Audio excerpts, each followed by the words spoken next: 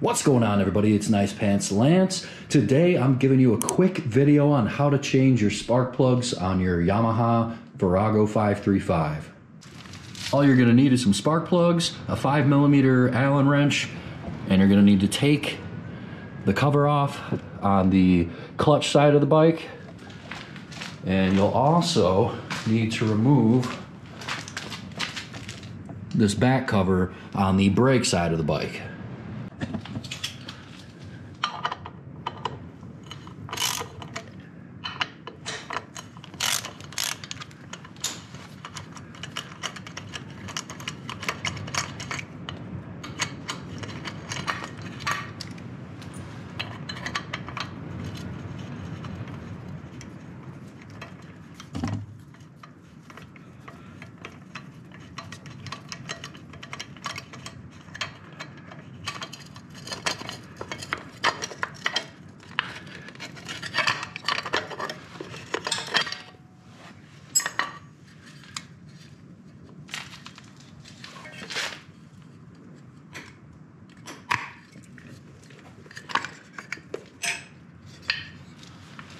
Oh, I forgot to mention you'll need a 21 millimeter socket for the spark plugs.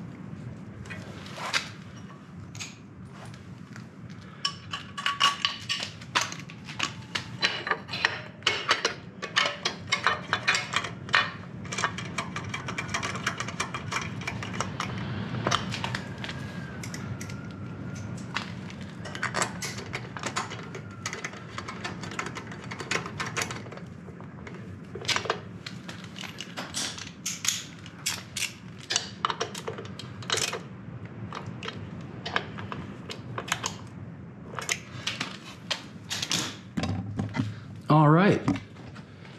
Both spark plugs are in, and that's it. If you like this video, give me a like. If it helped you in any way, please subscribe. Catch you on the next one. Peace.